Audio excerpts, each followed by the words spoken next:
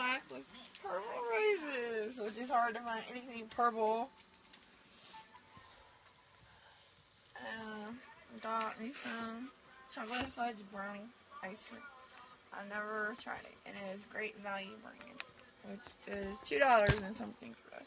It's about melted because it's raining. But I'm gonna try this. I never tried this brand of it.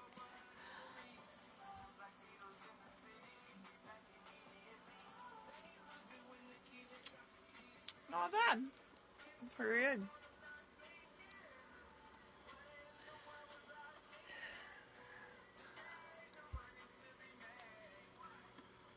Oh, I ain't supposed to have ice cream. I'm allergic to it, but mm, it's good. I don't know the ingredients in this one either. Usually I get Breyers or something or gelato or something like that. Milk, cream, sugar, skim milk, brownie, and sugar, cocoa, eggs. Mostly natural stuff. Yay! It's a good thing, right?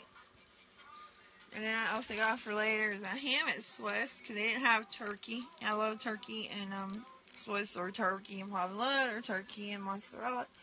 But they had the ham and Swiss or the cheddar and beef and I usually don't eat a lot of ham stuff, but anyway. Is there a five dollars at Walmart? They're five ninety eight. And this was two something. So yeah. And these are six dollars. Yeah, they're six dollars. Leggings. I got the smallest size I can find and women's stuff anyway. I don't know how long they're going to be on me or whatever, to put them on. No, Marcel, Heidi, you're not getting it.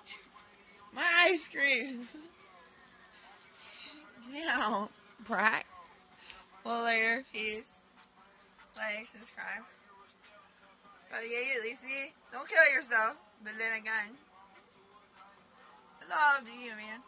I mean, I don't want to see you kill yourself, but, hey.